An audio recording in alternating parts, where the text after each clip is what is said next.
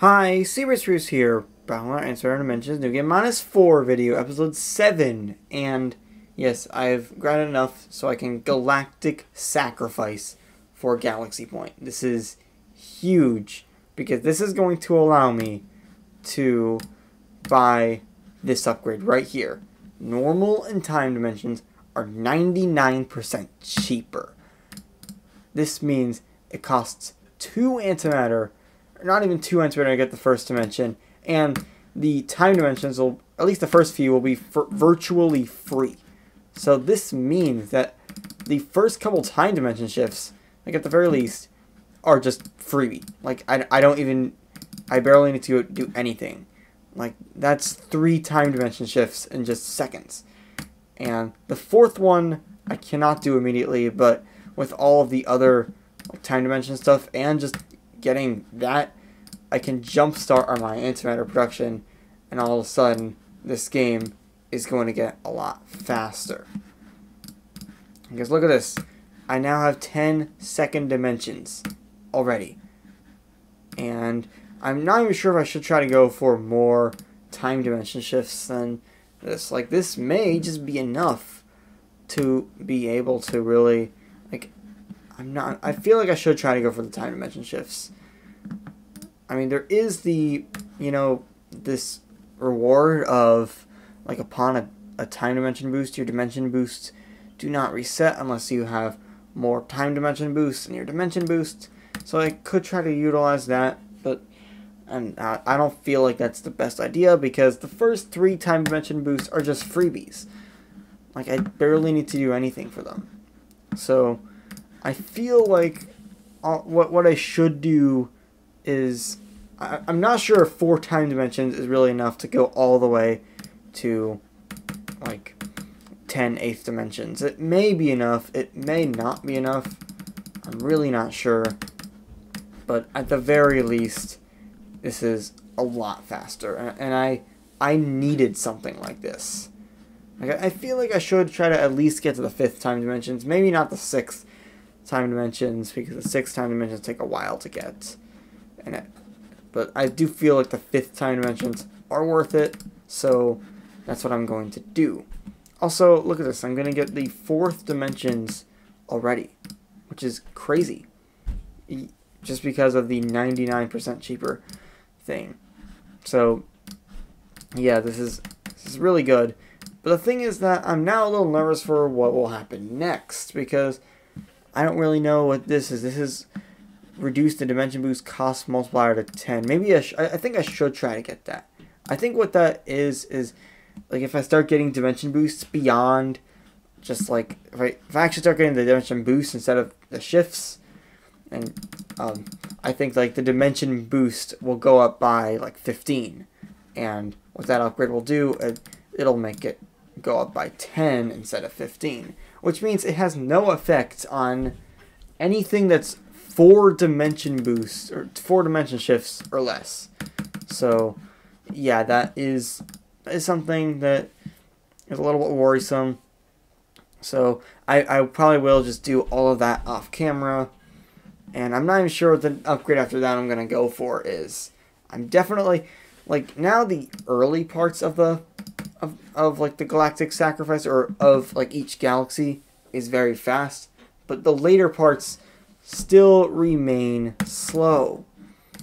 All, actually, all I need is 5 F5 E9 here, which will give me the fourth time dimension shift. And I feel like what I should do at this point is get one of these, get a fifth time dimension. Maybe I can get just one of each, and then start getting all of these as well. And that should definitely help things. So at this point, I'm going to start going for dimension shifts. It definitely is considerably faster than before, which is really nice, but it still feels at least a little bit slow. And I guess that's New Game Minus 4, especially considering the next upgrade is going to do nothing. And then I have no idea how I'm going to try to go for five galaxy points. Like, to get more than one galaxy point from a galactic sacrifice what you need to do is you need to get like multiple dimension shifts or multiple dimension boosts, and like more than 10 eighth dimensions, and maybe even a tick speed boost or two.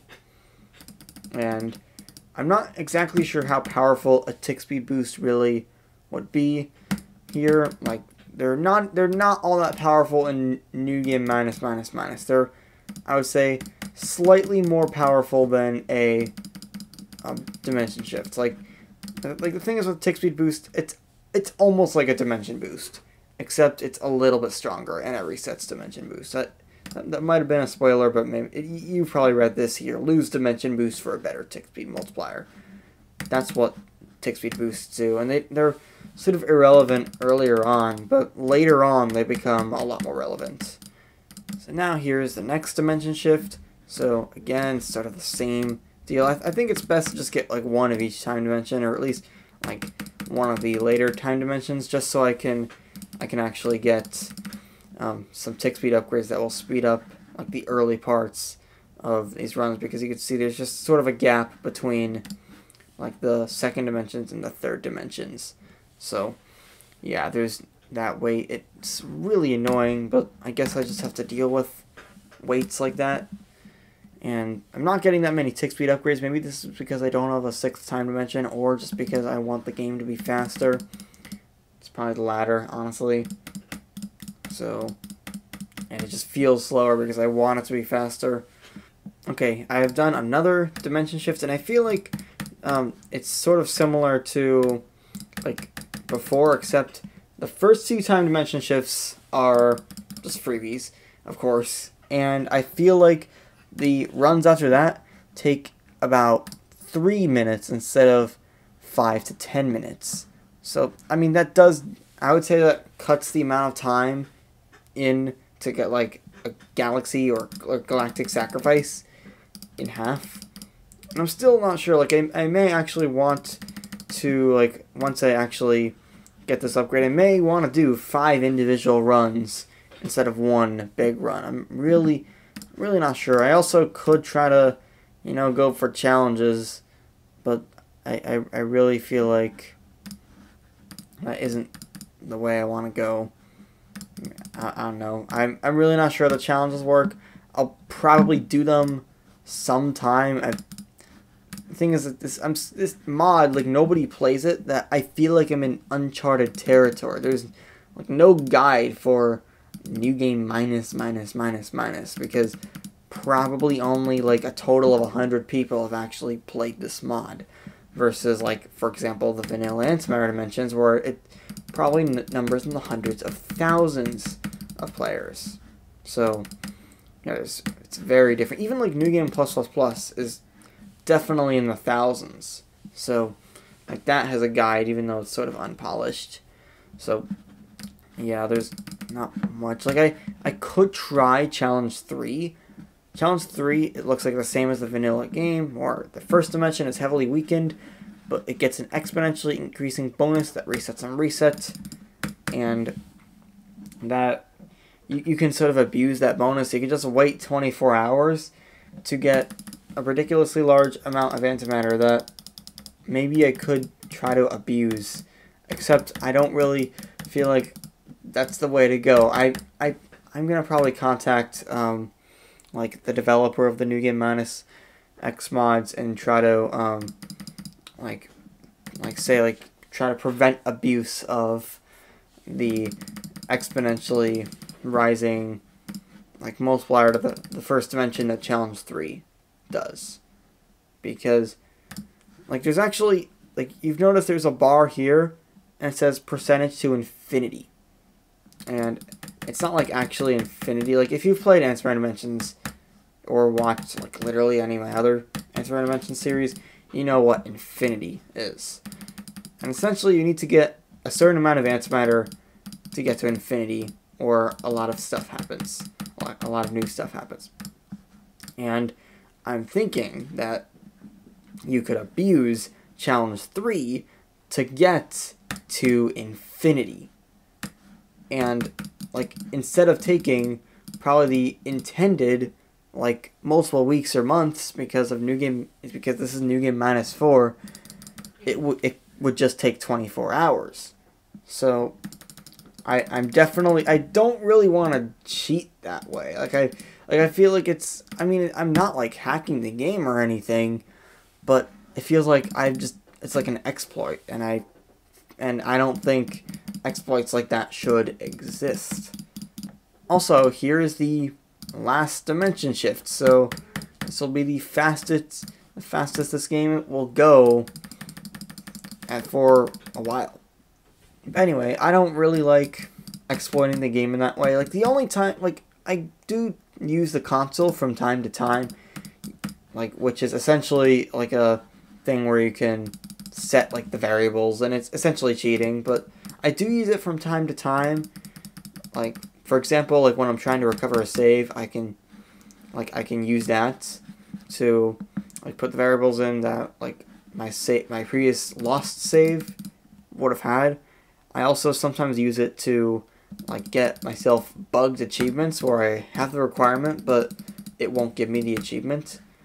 And then the third time where I use it is when there's an insurmountable, like proven to be insurmountable wall that cheating is the only way to get through. Like you can see that in New Game Minus Minus. I don't know why I'm really telling you about that, but I am.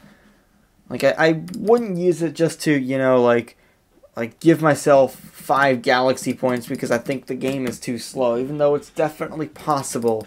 Like it like it's definitely possible to actually get five galaxy points here. It would just take a long, long time. And maybe while I'm waiting, I can run down some of the other galaxy upgrades that I can get. So the other galaxy upgrades are, like there's this one that I've already explained. Then there's this increase all dimension multipliers and by x to the 1.1 times. You can find that in Game Minus Minus and Minus Minus Minus. And that upgrade helps a lot. Like it, it like it, like it doesn't really seem all that much at first, but like just notice that the game just feels quite a bit faster, just because essentially that's nerfing the dilation nerfs, and it's just it really can help, especially when time dimensions are gonna also be like in place there. So I, I technically can get another time dimension shift, but I will not get that because I'm pretty close to a regular dimension shift. Actually, not just a dimension shift, a galaxy. But yeah, there's that. And then there's this upgrade, which is found in New Game Minus Minus and Minus Minus Minus, but it's modified here. What you'd find there is normal dimensions gain a multiplier based on time since last galactic sacrifice. Here, it it's slightly modified, so it also includes time dimensions. So essentially that upgrade rewards sort of like longer galactic sacrifices. Because that upgrade, if you've seen New Game Minus Minus and Minus Minus Minus, that upgrade can like after like a day it gets to like 150 times and it just it's huge. It like it's something that like radically affects the game experience. Unfortunately, it starts at like two times.